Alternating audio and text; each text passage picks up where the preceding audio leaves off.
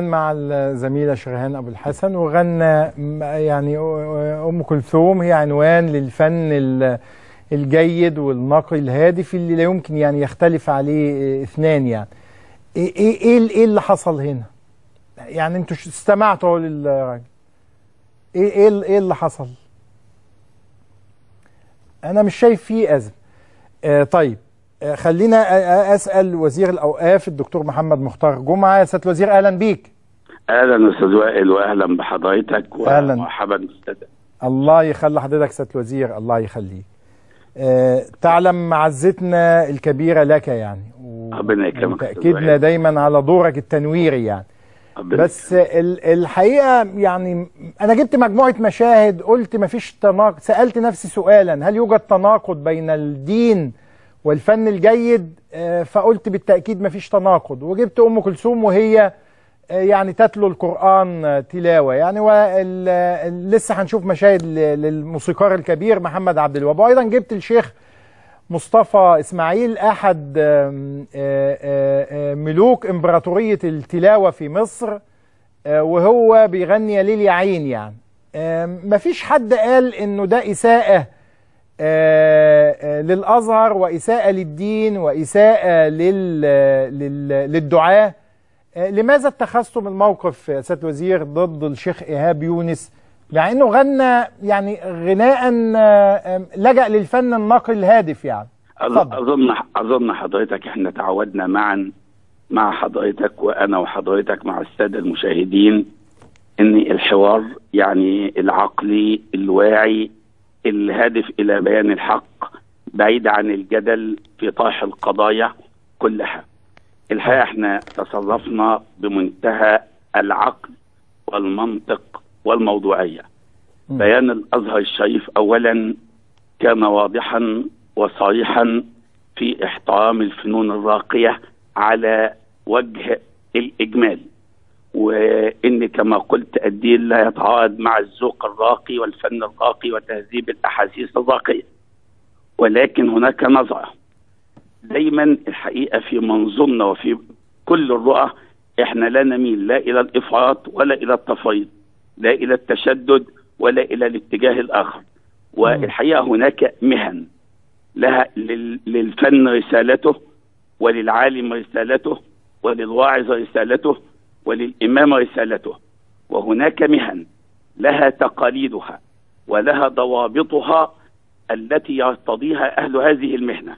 فمثلا الأمر ليس قاصرا فقط على كونه خطيبا أو اماما ولكن هناك مهن مثلا كالقاضي الذي يجلس على المنصة له تقاليده وله ضوابطه الاجتماعية والناس تنظر إلى السادة القضاة نظرة اعتبار معينة ولا تقبل منهم ما لا يقبل من غيرهم. كذلك في مواقع كالقوا... كالمواقع القيادية التنفيذية ما يقبل من عامة الناس ربما لا يقبل من إنسان ليس إماما على الإطلاق وربما لا يكون مسلما أصلا ولكن موقعه السياسي أو موقعه الاجتماعي أو وضعه الوظيفي. وإحنا الدين علمنا إن العرف شاهد وحاكم بضوابطه. وأنا هدي لحضرتك نموذج أرجو أن تتحملني فيه قليلا. لا اتفضل اتفضل العرف عند لما تيجي كنت تقرأ في فقه الشافعية يشترط في فقه الشافعية يشترط في الشهادة في الشاهد أن يكون عدلا. الشاهد لابد أن يكون عدلا ويشترط للعدالة المروءة. كان في عصر الشافعي وفي أيام الإمام الشافعي في أيامه هو الذي يمشي مكسو- مكسوف الراس عديم المروءة. ونحن نشأنا في قرى لعقود قريبة. كان عندما يجي بعض الناس يقول لك هذا إنسان مكشوف الرأس. يعني لا يستحي لأن عادة الناس في هذا المجتمع أنهم يغطون رؤوسهم وأن من يكشف رأسه يعد قليل المروءه هذا الكلام لا يمكن أن أطبقه الآن ولا أقبله الآن لأن سيادتك وكبار المثقفين وكثير من العلماء وزملائنا من أساتذة الجامعات من كبار علماء الفقه والأصول والقضاة وأصبح كشف الراس عاده القوم وكان الفعل من فعل العادات. فلما كان ذلك في أيام الشافعي كان يعتبر كاشف الراس مخل بالمروءة. لا يمكن لأحد أن يأتي الآن على الإطلاق ويقول هذا لأن عادة القوم تتقبل كشف الراس فالعرف محكم فعادت الناس تنظر إلى رجل الدين وإلى العالم على أنه يحافظ على سمت معين ورسالة معينة لا يتقبل الذوق الذوق العام. ولا المجتمع غير هذا. فحتى ينظر الناس إلى رجل الدين على أنه صاحب توجيه ديني محض وعلى أقل تقدير تقطع الجدل يا سيدي اللي عايز يشتغل في الفن يتفضل يشتغل في الفن لا لا نحرج على أحد ولا نحجر عليه. ومن أراد أن يشتغل بأي مهنة كالقضاء كالمواقع التنفيذية كالدعوة فلها ضوابطها ولها آدابها ولها تقاليدها. ومع ذلك أيضا كل ما فعلناه إن إحنا كلمة إيقاف عن العمل لا لم نوقفه عن العمل ولم يصدر قائد وقف عن العمل. ولكن قلنا إن ما أتى به لا يتناسب مع طبيعة عمل الإمام ومدونة سلوك الإمام الوظيفية ولأن هذا الباب لو فتحناه لجرنا إلى مشكلات لا تنتهي. على الإطلاق يبدأ يسيرا ثم بعد ذلك تنفتح أبواب لا تسد. قلنا ما جاء به لا يتناسب مع طبيعة عمل الإمام وكونه داعية ونظر الناس إليه كرجل دين يتلقون عنه كمبلغ عن الله ورسوله. فقلنا هذا الرجل يتقاضى جميع راتبه يلحق يتقاضى راتبه الطبيعي إلا طبعا خطبة الجمعة لأن نظمها قرار خطبة الجمعة لها بدل صعود منبر لمن يصعد المنبر أما باقي مرتبه وكل ما له من قضايا وظيفية فألحقناه لم نوقفه على العمل وإنما قطعا للجدل قطعا للجدل. وفي إطار القوانين المنظمة وقانون الدولة أكدت وصدر بيان الوزارة بأن التحقيق ولن يحصل على أي جزاء بمعرفة الوزارة وإنما في ضوء ضوابط العمل ومدونة السلوك الوظيفي وواجب الإمام وتبعاته رفعنا الموضوع عند اكتمال التحقيق سيتم رفعه إلى الجهات المختصة بالنيابة الإدارية وفي ضوء القوانين المنظمة لعمل الإمام وما يقتضيه واجب الوظيفة هي التي ستقدر إن كان ما أتى به يخل بواجبه الوظيفي وفق مقتضيات الوظيفة أو لا يخل. أما تقاليدنا وعاداتنا ورؤيتنا وتقبل المجتمع وطبيعة العمل الدعوي وما أجمع عليه الجميع في القطاع الديني واللجنة التي تشكل القيادات أننا لو فتحنا هذا الباب فإن آه يعني أنت أنت أنت تخوف حضرتك يعني إنه يعني راجل غنى دلوقتي لأم كلثوم لسه فاكر فأنت متخوف إن لو فتحت هذا الباب يعني هندخل بقى في حاجة يا أستاذ وائل بنسميها في الأصول والقواعد سد الضائع وحاجة ثانية يا أستاذ وائل مم. أنت في عالم فيه الرأي والرأي الآخر والطرف والطرف الآخر. فنحن لا نريد لأن خد بال حضرتك في نقطة مهمة جدا جدا جدا لابد أن نفهمها. آه. فيه الآن هجوم سواء على الدولة المصرية أو على الأنظمة العربية أو الإسلامية وكل ما تفعله الجماعات المتطرفة وجماعة الجماعات الإرهابية وكل الجماعات الإرهابية بتبني منظورها عند العامة على أساس حاجة واحدة إن الدول دي مش عايزة دين وإن الحكومات مش عايزة دين وحتى الأوقاف مش عايزة دين والناس دي كلهم بيحاربوا الله ورسوله إحنا صحيح ما بنخافش طالما أننا على الحق وطالما إحنا على الحق أنت عارف لا نخشى في الله لومة لائم وهديك نموذج هقوله لك هي يعني هيشرح صدر حضرتك آه عقب المداخلة دي في بعض النقاط تأكد لك إن إحنا ما بنعملش حساب للكلام طالما إن إحنا بنرضي الله ونعمل ما فيه المصلحة الوطنية. هذه الجماعات تبني نظريتها على إن الدولة تساند التسيب والانفلات ولا تريد دين وإنها بتحارب الدين. فعندما تجد أمرا كهذا آه، حتى لو كان في وجهات نظر قابلة للأخذ والرد يقول لك مش بنقول لكم بقى آه هم بيضيعوا الدين وهناك من العامة من لا يتقبل لا حسه ولا ذوقه ولا عرفه المجتمعي ولا الاجتماعي هذه الظواهر فسد الذرائع ودفع الخلل يقتضي أن يقول من أراد أن يتفرغ للفن فليتفرغ بمعزل عن الدعوة حتى لو بقي لدينا حتى لو كان موظفا عاديا. لكن أما أن يجمع بين أمرين لا يتقبلهما المجتمع معا ولا يتصور مجيئهما من شخص واحد فهذا يتنافى مع مدونة السلوك الوظيفي التي نربي عليها أئمتنا وعلماءنا لأننا نريد أن نقول نحن أحرص على الدين منكم واغير على الدين منكم وهنا في هذه المرحلة لا نحتمل أن ندخل في مسائل جدلية تفتح علينا أبوابا لا تسد. النقطتين اللي اقولهم لحضرتك ودول أهم نقطة.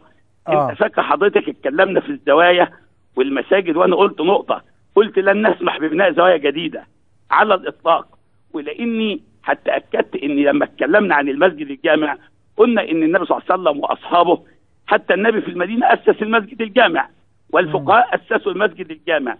قلت إحنا عملنا السنة دي في الصيف مدرسة المسجد الجامع. وبالمناسبة وأنا بكلم حضرتك الآن أنا بعد مشروع هنعلن عنه خلال يوم أو يومين بإذن الله وهينطلق قريبا إيه، على مستوى الجمهورية المدرسة القرآنية بالمسجد الجامع. بدل ما الجامعات إياها تحت مسمى تحفيظ القرآن تاخد أولاد الناس وأنت مش عارف تودي ولادك فين إحنا هنيجي في المساجد الكبرى الآمنة المساجد الرئيسية في المدن وهنعمل في كل مدرسة في كل مسجد مدرسة تحت إشراف الأئمة والمحفظين والمحفظات المعتمدين والمعتمدات من وزارة الأوقاف وم- وبالمجان على مستوى الجمهورية. آه. الوزارة- على اعتبار إنه بعض الجامعات المتطرفة كانت بتجتذب الأطفال والنشء بهذا الشكل يعني. تعالوا نعلم يعني ولادكم القرآن وبتاخدهم تخ- تخطف عقولهم يعني. شوف يا أستاذ وائل نقطة مهمة جدا. إذا غابت إذا غاب أهل الحق أو غابت الدولة آه. في مؤسساتها المجال هيتفتح لهذه الجماعات. لكن سيادتك عايز أنت راجل بفطرتك أو أي حد عايز يحفظ ابنه القران ما لقاش حد يحفظه يوديه للي فاتح. لكن لما أنت بتوجد له البديل الآمن هم كانوا بيجتذبوا أولاد الفقراء. ليه؟ هحفظ لك ابنك بالمجان وهدي له هدايا وهدي له لا إحنا بقى كدولة كدولة ممثلة في وزارة الأوقاف في هذا الجانب هنحفظ أولاد الفقراء بالمجان وهنديهم جوائز وهنكرمهم وفضل الله علينا واسع في في يعني مواردنا الذاتية. فهنبدأ نعمل مدرسة. الجانب الثاني المحفظ إحنا اشترطنا شرطين. أن يكون آه. حافظا لكتاب الله لأن فاقد الشيء لا يعطيه. لأن لو واحد مش حافظ هيجي يحفظ مين؟ اتنين بوضوح شديد وبأعلنها دون حرج ولا تردد ألا يكون منتميا لأي جماعة أو أي فكرة متطرف أو له اي انتماء لأي جماعة أو موظف ايديولوجيا. فهننتقي الناس بحيث تقول أدي المدارس القرآنية الناس ودوا أولادكم في المدارس الآمنة فبنحيي قضية المسجد الجامع. وقلت حاجة اللي عايز يبني مسجد جامع ما مش بنضيق على بناء المساجد بننظمها. لو سيادتك آه. بقول على الهواء في برنامج سيادتك لو واحد عايز يبني ألف مسجد يتفضل وهديله ألف مكان يبني فيهم. بس هديله في المكان اللي هو. في قرية فيها 20 مسجد وستة و12 يكفوها أو ستة. في قرية فيها مسجد واحد وتوسعت ومحتاجة مسجد جديد. أبني في المكان اللي محتاج إليه. آه مش المكان اللي هو عايزه يعني. يا سيدي كمال لو عايز يكتب اسمه نكتب له تبرع من فلان. يعني هو يكتب- المساجد لله سبحانه وتعالى يعني. أنا بقول لك وفي اي مكان يعني. الحاجة الثانية اللي أنا بقوله على على الهوا أيهما يكون ثواب أعلى؟ أنا عايز أبني مسجد. هبني للمكان اللي محتاج ولا اللي مش محتاج؟ لو بنيت في المحتاج أكون أعلى ثوابا. طيب أحيانا البلد فيها 15 مسجد وزي الدين وكافيين والبلد عايزة مدرسة أو مستشفى أو مكتب بريد ومحدش عايز يتبرع. أنا بقول على الهوا وبقول الحكم الشرعي الأولوية والثواب الأعلى حسب الاحتياج. فلو الناس محتاجين المدرسة فالثواب أعلى في بناء المدرسة. لو محتاجين المستشفى الثواب أعلى في بناء المستشفى. لو آه محتاجين آه آه المسجد الس- الثواب أعلى من من بناء المسجد يعني. طبعا. لو في آه. قرية المساجد كافية وليس بها مستشفى أو مدرسة. لو سألتني أيهما أفضل وأعلى ثوابا بناء المسجد أو المدرسة أقول لك بناء المدرسة أو المستشفى لأن العبرة بقضاء حوائج الناس. وتدور المصلحة حيث تكون المصلحة. طب مين اللي ينظم ده في كل جهة المدارس تنظمها التربية والتعليم المستشفيات تنظمها الصحة المساجد تنظمها الأوقاف لأن هي اللي عندها الخريطة الواسعة. النقطة الثانية اللي قلتها لحضرتك بقى. آه. إحنا عاملين عدة برامج وإن شاء الله لعل الوقت يبقى نشرح أحدها بالتفصيل. آخر برنامج تم امتحانه من امبارح والنهاردة ما يسمى ببرنامج الإمام المجدد. إحنا عملنا التدريب برامج. الأول يبدأ بإمام المسجد الجامع اللي. اللي هنأهله عشان يبقى إمام مسجد كبير. آه. ثم إمام متميز يتولى قيادات وسطى. الأهم بقى وصلنا لأعلى مرحلة بالتقدم 280 من أفضل الأئمة ما بين حاصل على الدكتوراه ومتحدث لغة أجنبية بنعمل لهم برنامج تدريبي لمدة 800 ساعة. 800 ياخد علم نفس وعلم اجتماع وعلم الجمال واقتصاد وعلوم سياسية وتنمية بشرية ولغة أجنبية آه، وحضارة إنسانية ومدارس فكرية قديمة وحديثة وتواصل إعلامي إضافة إلى العلوم الشرعية. وهنسميها زمالة الأوقاف. أنا لدي أمل أن كل من يتخرج من هذا البرنامج سيكون إماما عصريا مستنيرا وقلت الهدف أن نتحول لحالات الاستنارة من بعض الحالات الفردية إلى استنارة جماعية وعامة تسري في الأوقاف. طب النقطة الثانية خلال سنة اللي مش هيقدر يدخل إمام مجدد هيدخل إمام متميز. اللي مش هيقدر يدخل إمام متميز هيدخل إمام مسجد جامع. طب هتتبقى مجموعة قليلة. كل الجديد الآن يا أستاذ وائل وأنا بقول على الهوا كل من يدخل إماما كل من يدخل إماما لابد أن يكون مشروع عالم. وفاكر لما الشباب بتوع خطباء المكافأة كانوا مع سيادتك على الهوا؟ آه واحد آه. قال إحنا اديني سنة اديني سنة. عشان أقدر اقرا عملنا النظام كالآتي. قلنا هنعمل بعديها ومن خلال الدراسة اللي كنا شغالين عليها هنرفع بدل الخطبة بالمكافأة وبعضهم شغال مدرس شغال عمل تاني. كده آه. 400 جنيه. طب ده أنا هديك حاجة تاني جنبيها. لو أنت كويس هخليك تصلي المغرب والعشاء في الفجر والفجر في المسجد اللي جنب بيتك. وبنسميها مقيم شعائر بالمكافأة وهديك كمان 400 يبقى 800 طب لو أنا وديتك في محافظة فيها عجز بره محافظتك. هديه ما بين 1200 و 1300 اللي هو الحد الأدنى للأجور. ومع ذلك هديك كارنيه خطيب مكافأة ومقيم شعائر بالمكافأة لمدة سنة. بعد سنة لو ثبت وجودك هسمح لك تدخل مسابقة الأئمة بعد ما أكون أعددتك. وأنا قلت كلام وبعيده بقى في برنامج حضرتك. خلال عام على الأكثر عاملين مرحلة انتقالية. رفع كفاءة جميع الأئمة وهنعمل دورات في كل المحافظات ومعسكرات. لكن بعد سنة بنعمل تصفية ونتحاسب بعد سنة أمام المجتمع إن إحنا بنجتهد بنجتهد. رفع كفاءة الإمام لصورة غير مسبوقة بين المستوى المتميزين على الاستنارة. يا أستاذ وائل إحنا بإذن الله يوم الخميس هنفتتح المركز الثقافي العالمي بمدينة شرم الشيخ اللي فيه 50 جهاز من أحدث الأجهزة.